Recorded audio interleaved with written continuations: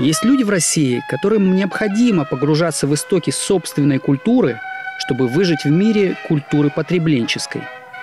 В этом году их приютил под своей крышей московский ДК «Красный Октябрь».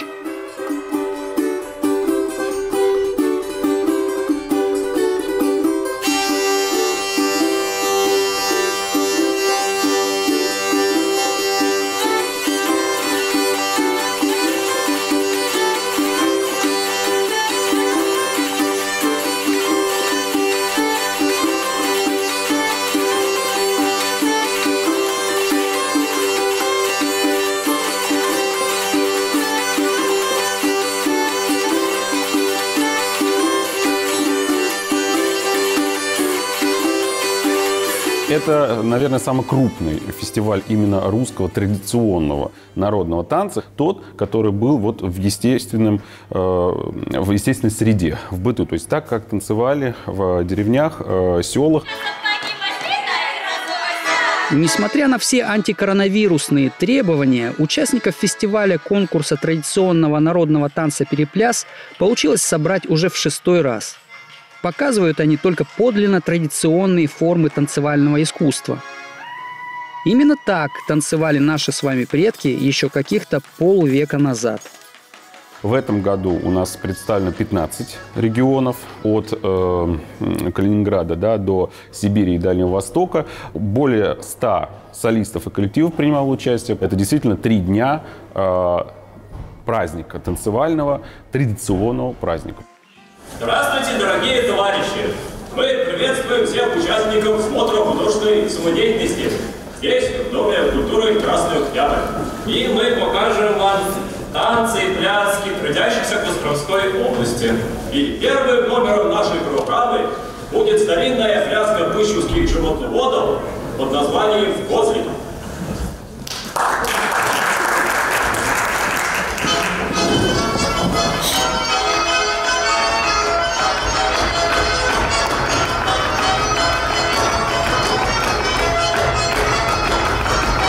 Парные танцы, кадрили пришли в народ из дворянских салонов только в XIX веке. В них пары поочередно исполняют так называемые фигуры, заранее известные и отрепетированные движения. Фигуры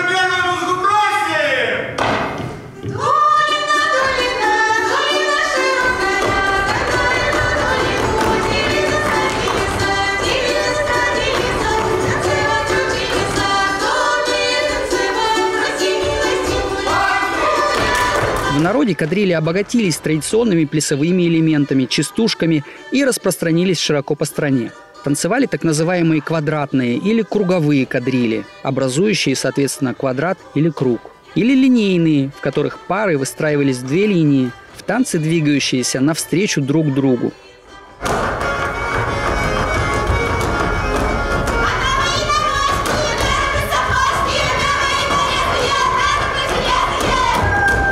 Вот пляс – это гораздо более древний вид танцевального искусства. Но несмотря на свою архаичность, он сложнее в освоении, чем парные танцы. Главное в плясе – умение импровизировать. Каждый плясун проявляет свой собственный узор, собственный внутренний мир при одинаковом для всех наборе движений. Каждый по своему характеру разных исполняет кто-то более задорно, кто-то более спокойно, кто-то более весело, кто-то более стеснительно. Это зависит от человека, это тоже видно. То есть по плясу что, видно прям человека или что? Ну да, есть, ну как бы можно сделать некоторые выводы. И по пению вообще, ну то есть, если видно, что человек волнуется, или наоборот он расслабленно себя идет, или он, что он веселый вкладывает, или то, что он грустно себя вкладывает, ну видно. Также легко по плясу можно определить, мужская это манера пляски или женская. По степени скромности, сдержанности движений. Девушек с задранными юбками и ногами выше головы вы здесь не увидите. Другие особенности народного характера и традиций.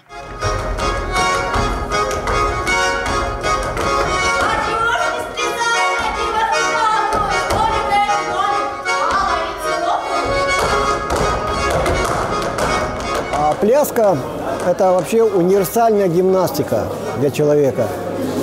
Очень развивает тело, мозги, динамику, структуру тела, а в целом, если выразиться, состояться цельным, целостным человеком. Нужно себя обустроить в пространстве, занять пространство своим намерением, посылом своим. А в итоге мы подводим к тому, что мы начинаем понимать и ощущать внутреннее пространство человека. И в это время еще хлопушки делаем. То есть моя задача все пространство да, обыграть, заполнить. Вот своим намерением, своей подачей. Раз, два, три, четыре. Раз, два.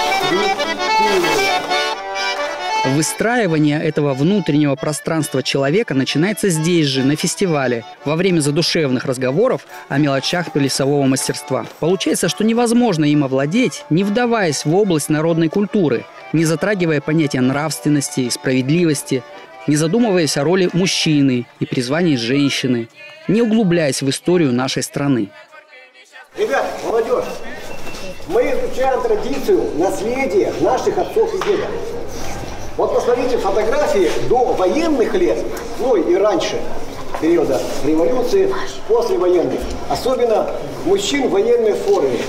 Вот какая спрямленность позвоночника, спины, в каком достойном, благородном, так сказать, походке вот они прибывают, идут. Ну, вот смотришь и глаз не оторвать. Что у нас сейчас на современном этапе? У нас вот эта воротниковая зона, мы вот так э, э, гусем шею согнули, вот, и ходим. На фестивале можно полюбоваться всеми видами пляски. Здесь и одиночная, и парная пляска, и, собственно, перепляс. Состязание не только в умении ярко плясать, но и вести диалог с музыкантом, попадая в ритм, и с товарищем, в попад отвечая частушками на частушки.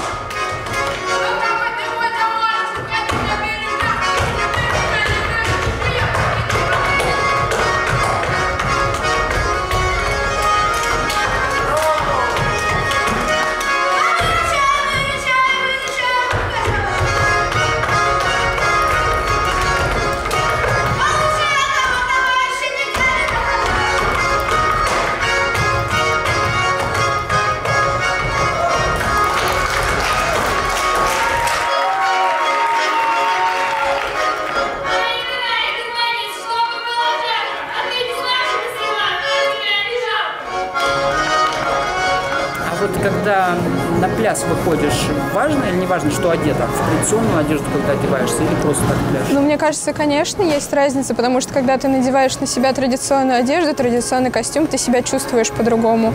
Ты полностью погружаешься и в пляску, и в традицию, и ты уже больше понимаешь то, что вот, допустим, здесь надо приподнять ручки, а здесь опустить, здесь надо вот так пройти, а здесь вот так.